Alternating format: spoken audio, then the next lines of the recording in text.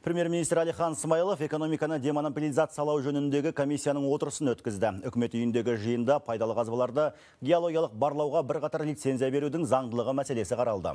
Ол үшін арнайы жұмыс тобы құрылады. Талқылауға мемлекеттік орталық органдардың, бас прокуратураның, сыбайлас жемқорлыққа қарсы іс-қимыл және қаржы мониторингі агенттігінің самұрық қазына қорының басшылары қатысты.